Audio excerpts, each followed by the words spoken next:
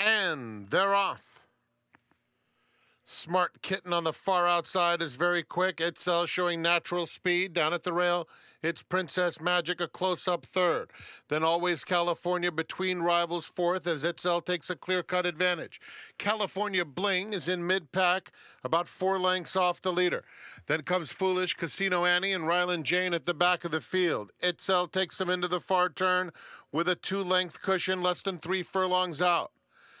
Always California in between horses being eased is Ryland Jane. Ryland Jane not being persevered with as the field comes to the quarter pole. Foolish is making headway down at the rail and a nice move for Foolish who angles outside of Itzel as they turn for home. And Foolish is up on the outside on even terms with Itzel. These two square off. Four back to Princess Magic in third. Coming to the 16th pole. Itzel or Foolish. Itzel digs deep. Now starts to draw away, turning away the bid from Foolish, and Itzel wins it by a length and a half. Foolish second best. Then it was a photo for third that went to California Bling just in front of Casino Annie. It's a photo for fifth.